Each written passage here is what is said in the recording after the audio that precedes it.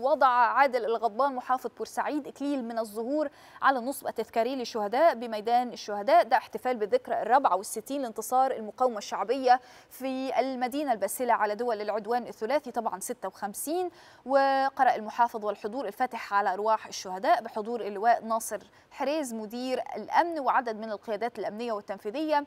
وعزفت الموسيقى العسكرية سلام الشهيد إجلالا لأرواح كل شهداء الوطن. استقبل المحافظ النهاردة البطل الفدائي الفدائي أحمد هلال بطل المقاومة الشعبية ونجلة البطلة الفدائية زينب الكفراوي وأكد المحافظ على الدور البطولي لأبطال المقاومة الشعبية والتضحية الغالية لأبناء الوطن في مجابهة العدوان الثلاثي في بورسعيد واللي ضحوا طبعا بأرواحهم الغالية فداء لحرية الأوطان.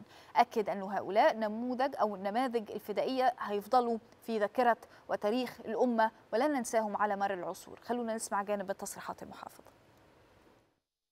إحنا النهارده مصر كلها بتحتفل بعيد النصر العيد 64 لانتصار مصر وشعب بورسعيد وأهلي في محافظة بورسعيد والفدائيين والقواتنا المسلحة المصرية العظيمة على عدوان الثلاثي في 56 ده النهارده بيواكب احتفالات مصر برضو بأعياد قومية عظيمة قوي لمشروعات قومية إن شاء الله يتم افتتاحها في القريب العاجل جدا في محافظة بورسعيد. إحنا النهارده بدأنا بوضع حجر كتير الظهور وعلى نصب الجند المجهول واجتمعنا مع الفدائيين العظام الفدائي علي وأحفاد وبنات وأولاد الفدائية زينب الكفراوي واسترجعنا التاريخ الجميل تاريخ كفاح لمحافظة بورسعيد واستهلينا هذه الافتتاحات وهذه الانتصارات بوضع اسم الشهيد عبد الغني الزيني على أحد المدارس في الأبوطي اللي تم تطويرها.